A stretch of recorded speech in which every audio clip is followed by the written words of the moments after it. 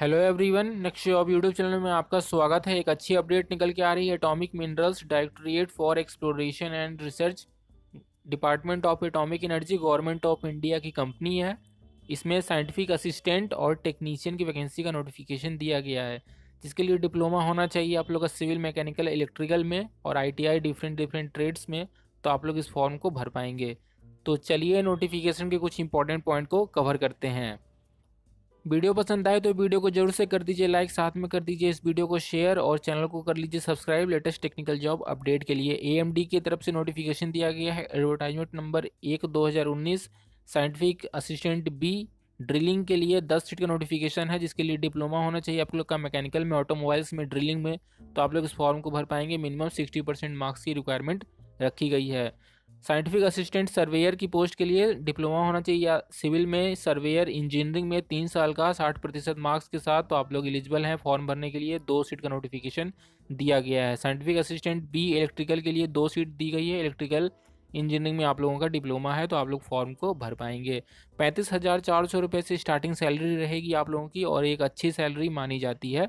Technician B की जो post है, जिसके लिए टेंथ के बाद आप लोग का आईटीआई होना चाहिए, डीजल या ऑटो मैकेनिक में चौदह सीट का नोटिफिकेशन दिया गया है तो आप लोग एलिजिबल हैं। टेक्नीसियन बी इलेक्ट्रिकल में चार सीट का नोटिफिकेशन आईटीआई होना चाहिए इलेक्ट्रिकल ट्रेड में। तो आप लोग फॉर्म को लिए एलिजिबल हो जाते हैं। यहाँ पे एज देख लीजिए, पच्चीस, अट्ठाईस दिया गया है तो मैक्सिमम एज फॉर्म भरने की।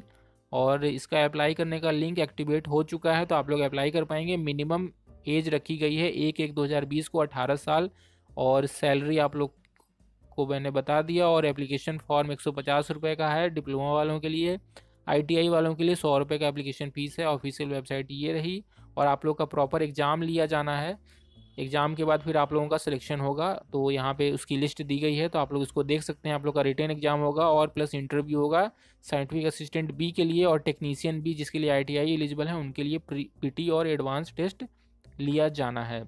और 10 एक 2020 इसकी लास्ट डेट रखी गई है। और यहाँ पे आप लोग के लिए वेटिंग लिस्ट भी बनाई जाएगी, जो कि एक साल के लिए वैलिड होगी। अगर कोई लड़का एक साल के बीच में छोड़ के जाता है तो आप लोग का सिलेक्शन हो जाएगा, अगर आप लोग वेटिंग लिस्ट में रहते हैं। तो यही थी कुछ जानकारी, जो इस वीडियो में हम लोगों ने बात किया। उम्मीद करता हूँ जानकारी आप लोग को अच्छी लगी होगी तो वीडियो को लाइक करके शेयर ज़रूर कर दीजिए। और चैनल को भी सब्सक्राइब कर लीजिए। Thank you for watching this video